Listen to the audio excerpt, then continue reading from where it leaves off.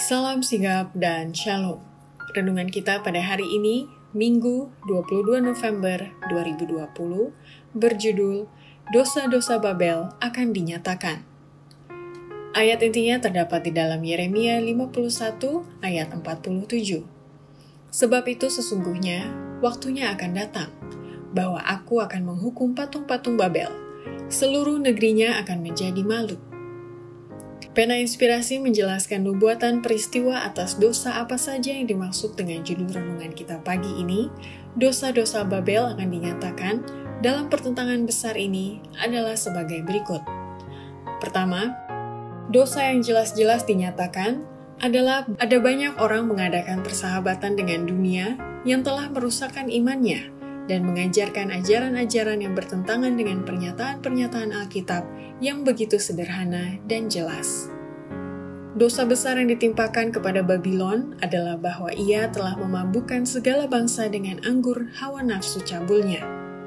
Cawan kemabukan yang diberikan kepada dunia ini melambangkan ajaran-ajaran palsu yang diterimanya sebagai akibat dari hubungan gelapnya dengan para pembesar dunia. Persahabatan dengan dunia telah merusakkan imannya, dan pada gilirannya ia menyebarkan pengaruh kerusakan iman dan kebejatan kepada dunia oleh mengajarkan ajaran-ajaran yang bertentangan dengan pernyataan-pernyataan Alkitab yang begitu sederhana dan jelas.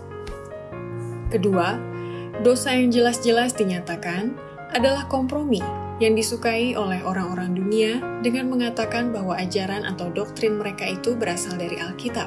Namun dalam prakteknya, ajaran dan teori itu bertentangan dan terbagi-bagi menjadi banyak sekte. Banyak gereja-gereja protestan mengikuti teladan hubungan jahat Roma dengan raja-raja dunia, gereja-gereja negara, oleh hubungan mereka dengan pemerintah, dan denominasi-denominasi lain oleh usaha-usaha agar disukai dunia. Dan istilah Babylon, yang berarti kekacauan, dapat dikaitkan dengan badan-badan ini yang semua mengaku mengambil ajaran atau doktrinnya dari Alkitab, namun terbagi-bagi menjadi banyak sekte dengan ajaran dan teori yang bertentangan. Ketiga, dosa yang jelas-jelas dinyatakan adalah banyak orang Kristen akan menerima ajaran spiritualisme dan menghapus pembatasan-pembatasan yang dikenakan kepada hati manusia duniawi sehingga pengaruh ajaran-ajaran setan sangat terasa di dalam gereja. Kristus dianggap tidak ada melalui penghinaan yang dilancarkan terhadap firman-Nya dan umatnya, sementara ajaran-ajaran spiritualisme diterima oleh gereja-gereja. Pembatasan-pembatasan yang dikenakan kepada hati duniawi manusia itu dihapuskan, dan pengakuan agama menjadi seperti jubah yang menyembunyikan kejahatan yang paling keji. Kepercayaan kepada manifestasi spiritual membuka pintu kepada roh-roh yang menggoda dan ajaran-ajaran setan.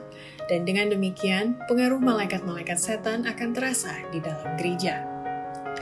Keempat, dosa yang jelas-jelas dinyatakan adalah banyak orang Kristen yang akan menyesuaikan diri dengan kebiasaan-kebiasaan gereja dengan cara memelihara hari sabat palsu dan orang-orang yang menolak menyesuaikan diri dengan hari sabat palsu akan dikenakan hukuman sipil Kuasa-kuasa duniawi yang disatukan melawan perintah-perintah Allah akan memutuskan bahwa baik kecil atau besar, kaya atau miskin, merdeka atau hamba, harus menyesuaikan diri dengan kebiasaan-kebiasaan gereja dengan cara memelihara hari sabat palsu.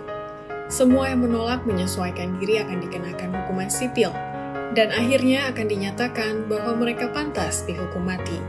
Sebaliknya, Hukum Allah yang memerintahkan hari perhentian, pencipta menuntut penurutan dan mengancam dengan murka Allah bagi semua yang melanggar ajaran-ajaran hukum itu.